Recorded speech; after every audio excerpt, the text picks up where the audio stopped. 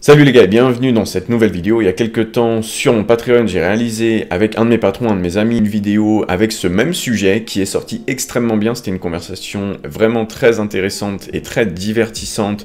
Les patrons ont absolument adoré euh, cette vidéo, donc je me suis dit que j'allais vous faire ma version sur la chaîne principale, sur la chaîne YouTube. Parce qu'au final, des belles transformations, vous en voyez quasiment tous les jours. Mais une des données très importantes qui nous échappe, c'est les changements observés dans la vie du pratiquant, les changements observés autour justement de cette transformation. C'est un sujet très important, très intéressant et on a chacun notre propre version, notre propre histoire et je pense qu'on a tous envie de partager justement ce qu'on a ressenti pendant cette transformation. C'est pourquoi je vous propose de faire comme moi dans cette vidéo, de me lister dans la section commentaires les points que vous avez notés, ce qui a changé chez vraiment toutes ces années de musculation. Comment était la vie avant la musculation pour vous et qu'en est-il maintenant? Donc on va commencer dès maintenant avec les points que j'ai relevés dans cette vidéo.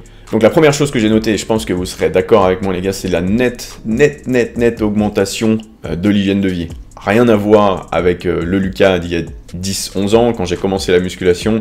Donc j'avais 18-19 ans, c'était une période où je faisais beaucoup, vraiment beaucoup la fête, où je mangeais euh, pas beaucoup. Euh, probablement que mon principal euh, apport calorique venait éventuellement de l'éthanol, de l'alcool, d'un peu de gras et des glucides via des pâtes achetées dans les euh, combini japonais, un apport en protéines proche du néant, bref, c'était absolument catastrophique. C'était pas forcément quelque chose que j'avais en tête à l'époque, bien sûr, je cherchais principalement à gagner suffisamment d'argent pour continuer à m'amuser. J'avais 18-19 ans, au final, je ne regrette rien, on s'éclatait bien, mais clairement, niveau hygiène de vie par rapport au Lucas de maintenant, ça n'a absolument rien à voir. Également, bien sûr, je vous parlais d'un point de vue nutrition. Mon alimentation, il y a, il y a 10-11 ans, donc avant de commencer la musculation, elle était chaotique, donc c'était même pas pas bonne, c'est qu'elle était chaotique. Comme je vous disais, il n'y avait déjà aucune notion de nutrition, aucun intérêt envers euh, la nutrition et euh, l'optimisation euh, de la santé physique via la nutrition. Donc bon, c'était catastrophique. Donc point principal ici, l'hygiène de vie qui est passée Over 9000, comme on dit. Bon, la deuxième chose que j'ai remarqué, malgré le fait que je vous ai mentionné qu'il y a 10-11 ans, c'était pas mal de fêtes et pas beaucoup de sommeil, c'est que je suis beaucoup plus fatigué au quotidien maintenant qu'avant. Alors qu'avant, je dormais quand même euh, moins, beaucoup moins. Mais euh, bon, apparemment, j'avais pas besoin de dormir tant d'heures que ça pour me sentir suffisamment frais pour continuer à faire les bêtises que je faisais. Euh, donc le problème avec la musculation, et surtout quand tu es vraiment investi, et en plus quand tu en fais depuis longtemps, donc tu as un certain niveau, c'est qu'effectivement tu es fatigué quasiment tout le temps. Euh, en fait, cette idée de vidéo, elle m'est venue assez simplement. J'étais en train de marcher dans la rue après trois jours de repos parce que j'ai eu un problème au dos euh, récemment au muscle du grand dentelé inférieur, postérieur. Et même si j'avais mal au dos, je me suis rendu compte à quel point c'était étrange de marcher sans grincer, sans avoir le bas du dos un peu trop raide, sans avoir des courbatures absolument immondes au trapèze, aux épaules. Donc deuxième point très important, je suis beaucoup plus fatigué qu'avant et je me demande assez souvent ce qu'était au final la vie avant de commencer la musculation. D'où la vidéo. Également concernant la fatigue, par moment, même quand je dors suffisamment, j'ai clairement très très très très mal à la gueule, ce qui m'indique généralement que j'ai besoin de prendre un jour de repos et ou que j'ai été trop loin euh, la veille au niveau de l'entraînement, parce que par moment, même si on a tous un plan, on a envie de faire des, folies, hein. ça peut même être que sur une série qui vous envoie dans le rouge pour le reste de la semaine, à nouveau, ça c'est à partir d'un certain niveau, quand on est débutant, on rencontre pas forcément ce genre de problème.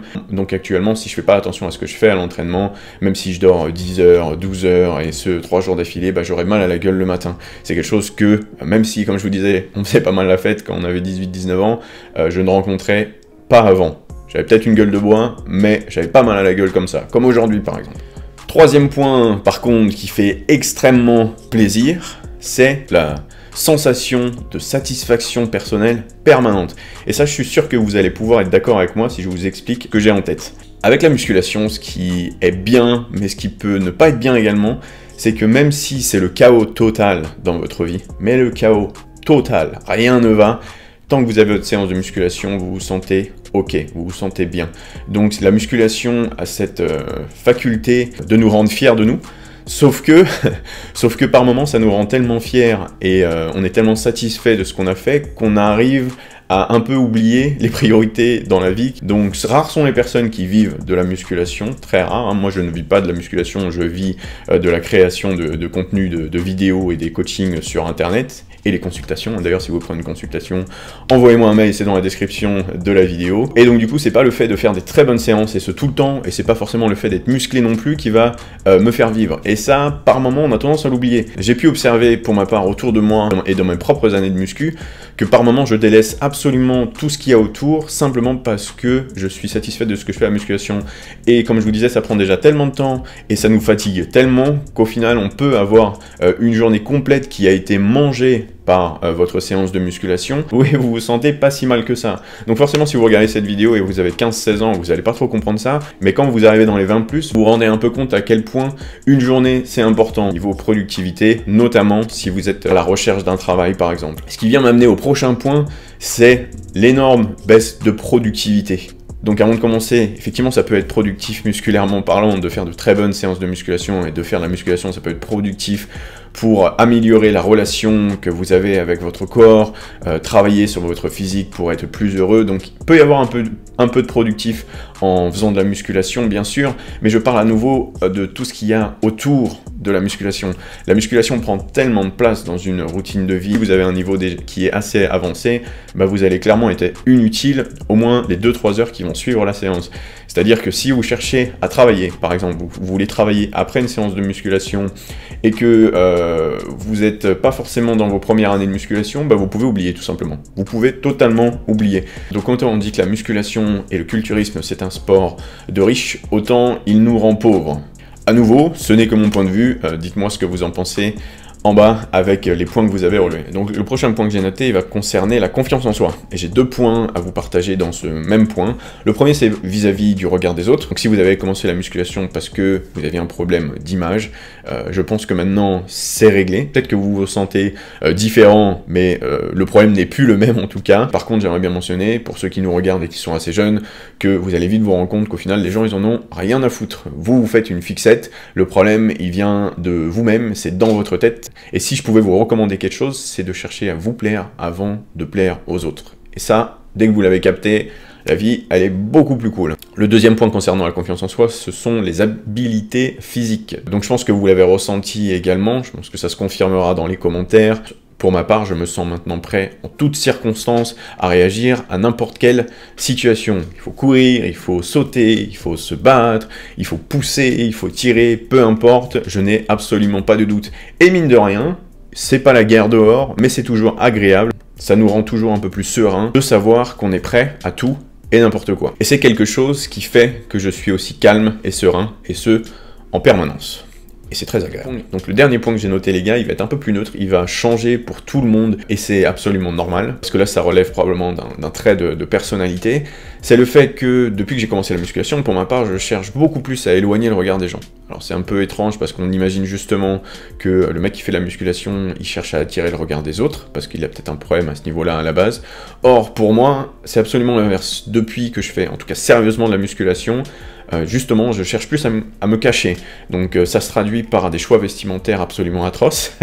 Euh, tout le monde n'est pas content à la maison. Prendre moins de soin de soi pour justement passer incognito. Donc je sais que c'est bizarre parce que j'ai une page Instagram où les trois quarts du temps je suis probablement torse nu, mais n'oubliez pas que le contexte c'est le bodybuilding, donc je vais pas poser en t-shirt parce que vous n'en avez rien à foutre de mon style vestimentaire absolument naze. Et également j'ai une chaîne YouTube où le, contenu principal est moi qui documente mes préparations de bodybuilding, mais à nouveau le contexte c'est le bodybuilding. Si vous me rencontrez en dehors de mes réseaux, vous allez voir que je suis très souvent en hoodie, je suis très souvent en jogger, j'ai rarement la barbe bien faite et les cheveux bien coiffés, généralement j'aurai l'air au bout de ma vie, et, clairement j'aurai le profil du gars qui n'attirerait pas votre attention. En tout cas, c'est ce que je veux. C'est peut-être pas toujours ce qui se passe, mais euh, c'est ce que j'ai en tête. Le dernier point que je vais vous partager les gars, c'est pas moi qui l'ai noté, euh, je l'ai trouvé sur mon calepin le lendemain du script de cette vidéo, du script de cette vidéo, c'est que ça va vous aider, enfin ça m'a aidé à trouver je cite la fit girl de mes rêves. D'ailleurs, c'est un point assez intéressant et je peux m'étaler un peu sur le sujet. Donc, est-ce que le fait d'être vraiment musclé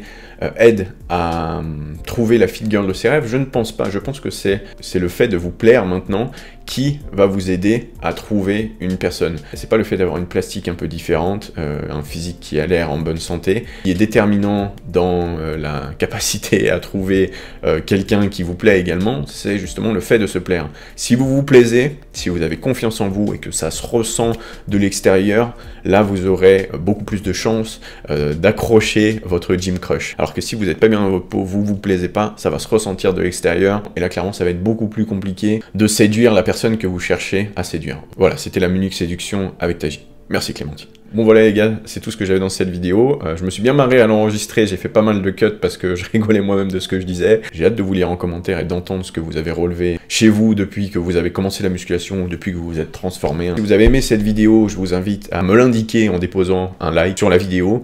Si vous voulez pas manquer toutes les vidéos, parce que quand même je, prévois d'en faire encore, même si ma fréquence est un peu moins haute en ce moment, euh, j'ai toujours l'idée de, continuer à faire vivre et à vous divertir avec euh, cette chaîne YouTube. Si vous voulez plus de contenu spécifique musculation et que vous souhaitez me soutenir dans ma démarche de création de contenu sur YouTube, je vous invite à nous rejoindre sur Patreon, c'est le premier lien dans la description de la vidéo.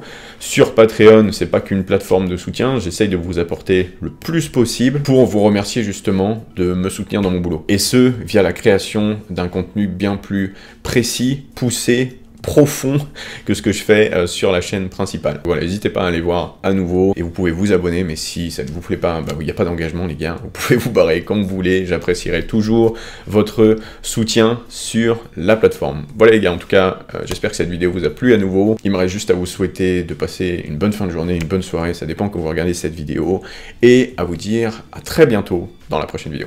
Salut les gars, peace out.